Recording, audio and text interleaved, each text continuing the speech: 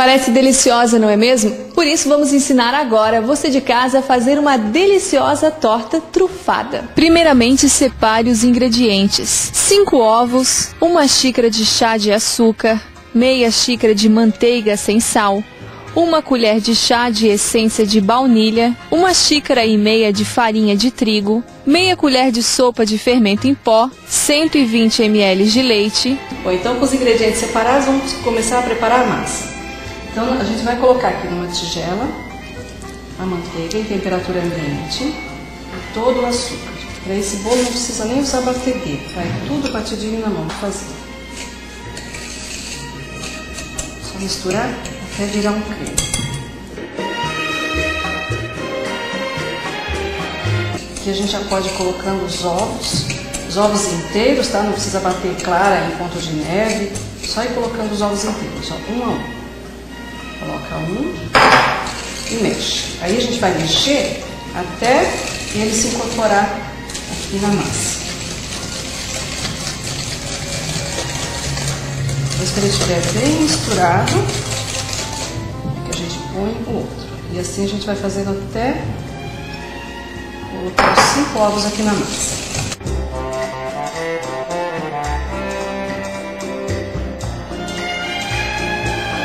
Nós vamos colocar aqui já a essência de baunilha e essa essência ela dá um aroma, um sabor bem gostoso nesse bolo.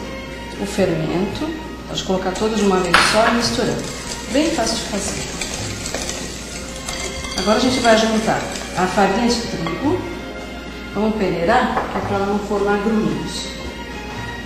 Peneiradinho.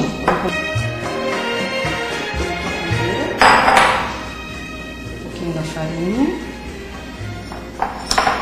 só metade da farinha.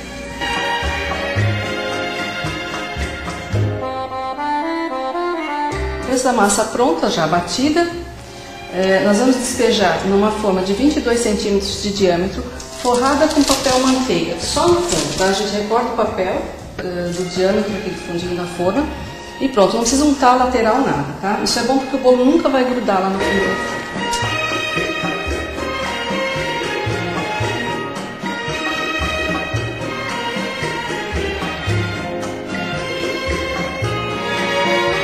Creme trufado escuro, 400 gramas de chocolate meio amargo, 200 gramas de creme de leite sem soro, 50 ml de licor de laranja, creme trufado de laranja, 200 gramas de chocolate branco, 100 gramas de creme de leite, raspas da casca de uma laranja.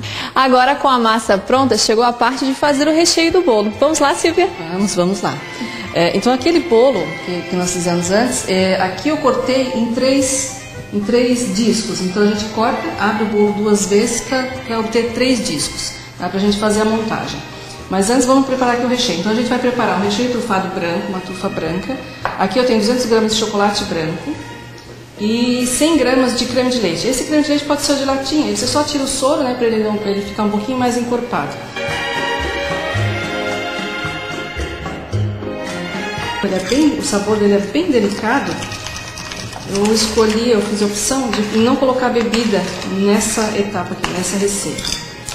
Então, nessa parte aqui da trufa branca, a gente vai colocar só a raspinha da casca da laranja. Tá bem superficial. Ó, vai ralando assim, ó, sai só onde está o, bem o sumo da laranja.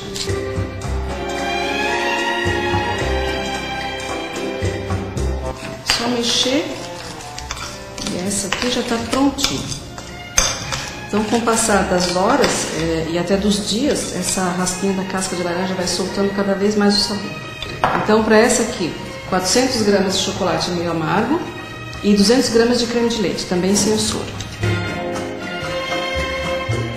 Então, aqui eu tenho 50 ml de licor de laranja. Estou bem misturadinho. Vou só colocar aqui o licorzinho.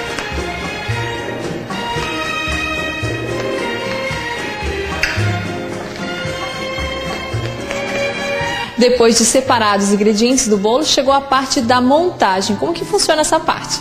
A parte da montagem é a mais fácil de todas. então vamos lá. Isso, porque nós vamos usar aqui um aro. Então o aro, é, ele vai facilitar a aplicação porque os cremes eles estão moles ainda, né? A gente não levou nada para a geladeira, né? Tá tudo em temperatura ambiente. Então o creme está mole e fica meio assustador você montar uma torta com creme tão mole. Se eu tenho um aro, isso não tem, isso deixa de ser um problema, tá? Então é, a gente só vai fazer camadas, ó. Então vamos ver aqui, ó. Vou colocar um disco de massa. Olha lá que fácil. Disco de massa e metade do recheio de chocolate. Só jogar por cima.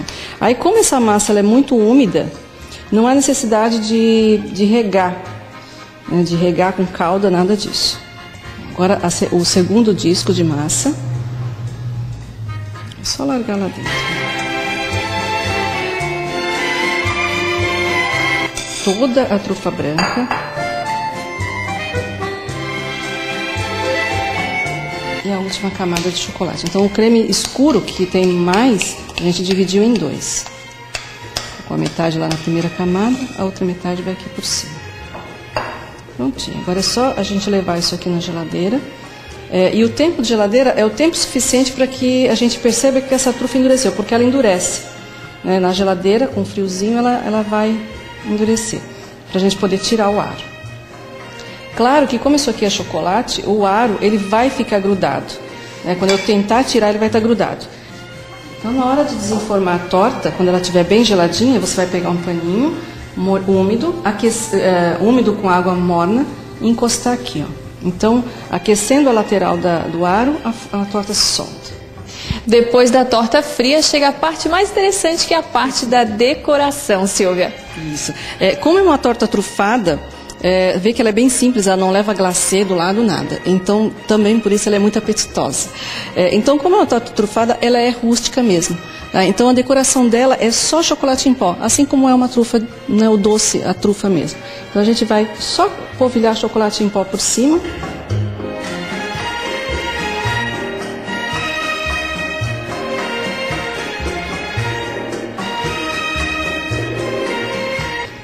Essa torta, além de, de linda e saborosa, ela combina, agora nesses dias frios, ela combina perfeitamente com umas bebidinhas quentes do inverno, né? Café com leite, um cappuccino ou até mesmo um vinhozinho.